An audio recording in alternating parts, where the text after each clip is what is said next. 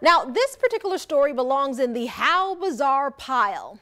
Out in St. Johns County, deputies they there say they're searching for a man accused of stealing cat blood from a St. Augustine veterinary clinic. Deputies say a man walked up to the Anastasia Cat Clinic on Old Dixie Highway and stole a blood box containing four vials of cat blood. Here's a photo of the guy that they're looking for to question. The total cost of the blood box and the blood itself that were stolen is about $600. Call the St. Johns County Sheriff's Office with any helpful information.